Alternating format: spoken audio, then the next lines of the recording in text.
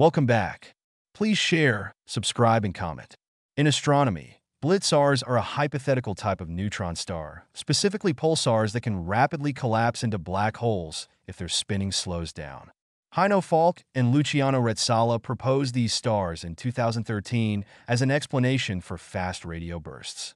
Overview these stars, if they exist, are thought to start from a neutron star with a mass that would cause it to collapse into a black hole if it were not rapidly spinning. Instead, the neutron star spins fast enough so that its centrifugal force overcomes gravity. This makes the neutron star a typical but doomed pulsar whose strong magnetic field radiates energy away and slows its spin.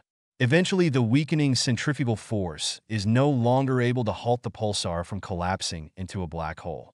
At that moment, part of the pulsar's magnetic field outside the black hole is suddenly cut off from its vanished source. This magnetic energy is instantly transformed into a burst of wide-spectrum radio energy. As of January 2015, seven radio events detected so far might represent such possible collapses.